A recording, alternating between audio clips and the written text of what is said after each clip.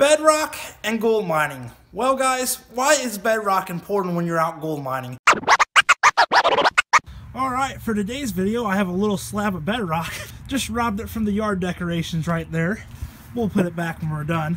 Well, the first couple years that I went out prospecting, I didn't really have a clue what the important part about bedrock was. The first couple years that I went out gold prospecting, I dug through a tailing pile, so it really didn't matter too much. But I did hear people talking about bedrock, and I really didn't understand what was the importance of it. So guys, why is bedrock important?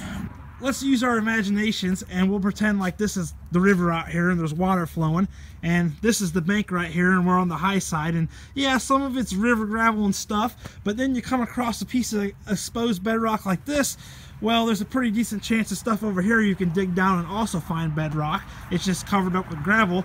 But a good sign when you're out prospecting is, is when you see bedrock, you always want to check that out. And the reason that it's important is because, well, gold is heavy and it tends to work itself all the way down to the bottom. And if you're in a gold bearing area and nobody has ever dug it out before and you're the first guy there to take a sample and prospect it out, there's a pretty decent chance that, uh, hey, you might find some gold and it might be pretty good gold. All my best gold discoveries has always been on bedrock, guys. That's where I've always done my best. And the reason is, is because, well, the gold gets all the way down at the bottom of the bedrock and it's got nowhere else to go. It gets in these cracks here, it starts piling up.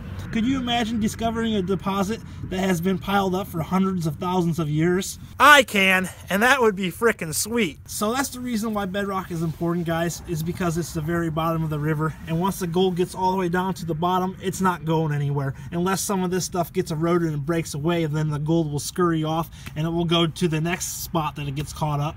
But bedrock is always a good sign because it's the bottom of the river and uh, once you get the bedrock, it's not going any deeper. So if it's a gold bearing area and nobody has ever got to it before, it's definitely worth looking into. So guys, that's one of my huge hints for looking for good gold is uh, find that bedrock and explore it. Now I better put these away before I uh, lose them. So, like I said earlier in the video, when I first started prospecting, I spent my first couple years looking through tailing piles and stuff like that. So, I really didn't understand what the big importance of bedrock was. But then I went out to California and I discovered that when I found my best gold sluice boxing along the river, it was always on bedrock. And that's the same way it goes when I'm dredging. When I find my best gold, it's always down on bedrock. Now, I found some pretty decent gold before and it hasn't been on bedrock, but it's always there's always a hard layer underneath of it, whether it's a false bedrock or something like that. All right, guys, Thanks for checking out the video. Well, to put an ending on it, I'll just say that bedrock is important because it's the very bottom of the river. It's the hardest surface around, and uh, gold is heavy and tends to work itself all the way down to the bottom of the river.